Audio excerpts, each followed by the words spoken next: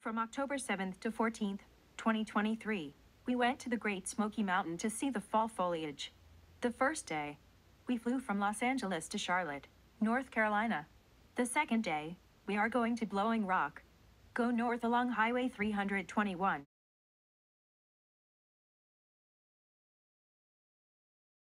This is a gas station. The trees line up like this in the middle of nowhere is kind of interesting and charming to me. We don't see much open land like this in Los Angeles. We may just squeeze in some condos. About an hour passed by. We came to Gideon Ridge Inn. This hotel has only 10 rooms and is also a restaurant. There is no need to say more about its scenery.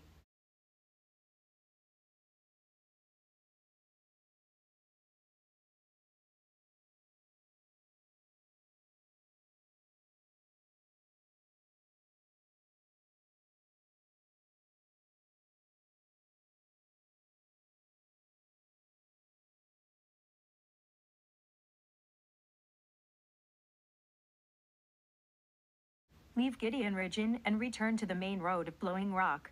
A few beautiful maple trees by the roadside caught our attention. We stopped. This is a small commercial center on the street. There are still red apples hanging on the tree. Previously, we were a little disappointed that we came early and the trees were still green. Now the autumn color is thick here.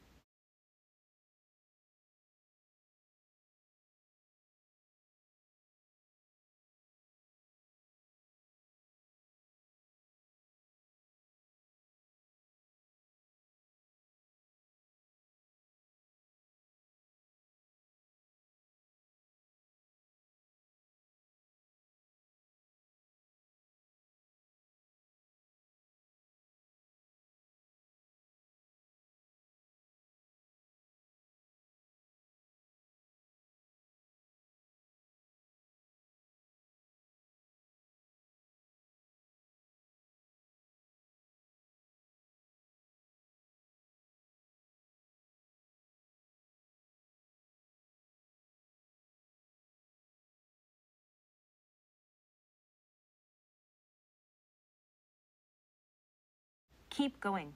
We go on Blue Ridge Parkway. There are a lot of overlooks along the road. Each one is unique and also similar. We drove all the way to Asheville.